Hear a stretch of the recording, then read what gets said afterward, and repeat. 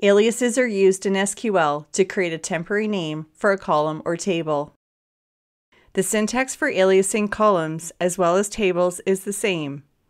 You simply type the column or table name, followed by the as keyword, and then the alias name. In some databases, you can omit the as keyword, but for the purposes of this tutorial, we will define our aliases using as. So let's start by looking at how to alias a column name. Generally, aliases are used to make the column headings in your result set easier to read. Most commonly, you might alias a column when using an aggregate function such as min, max, average, sum, or count in your query. So let's get started.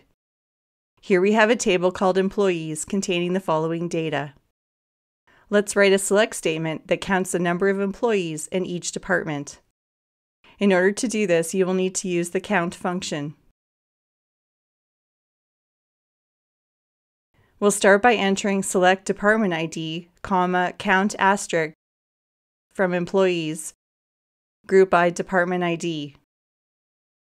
Currently, we aren't using any aliases in this SQL statement, but we want to show you what the result set looks like to help you better understand why you might want to use a column alias. When we run this select statement, we will get two columns in a result set. The first column is the department ID, and the second column is the results of the count function that displays the number of employees in that department.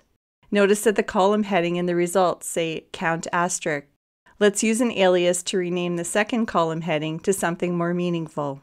So we'll go back to our original select statement, and after the count asterisk, we will enter as total. Now when we rerun this query, our column heading will say total instead of count asterisk. Now before moving on, let's look at how to create a column alias that contains spaces. Let's rewrite our query and include a space in the column alias. Again, we will enter select department ID, comma, count asterisk, but this time we will enclose our alias name in quotes. So we will enter as quote, total employees, quote. Notice the space between the words total and employees. And then we'll finish the rest of the SQL statement as before.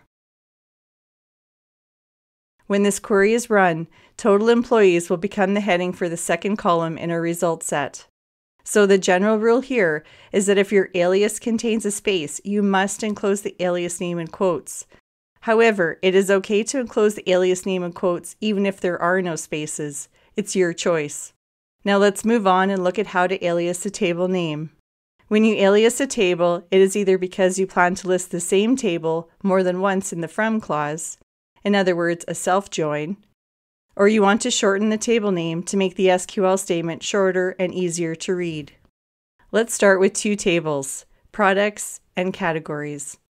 We'll write a query that joins these two tables together and uses aliases for the table names.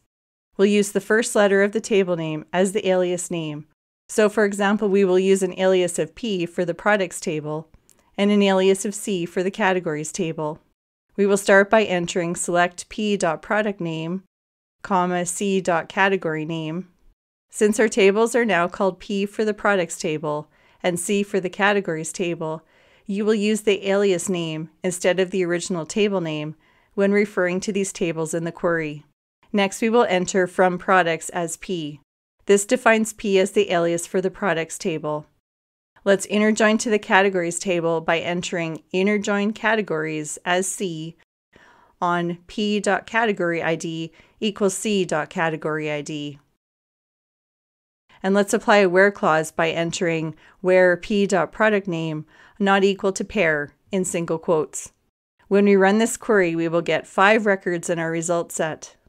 In this example, we alias both of our tables, but it is important to mention that if you do choose to create table aliases, you do not have to create aliases for all of the tables listed in your from clause. You can choose to create aliases on any or all of the tables. This covers a few examples of how to create column and table aliases. If you would like to see more examples, or would like to download the sample data we used for this tutorial, please visit our website at techonthenet.com. You can also try the examples in our SQL editor on our website. Look for the Try It button next to each example.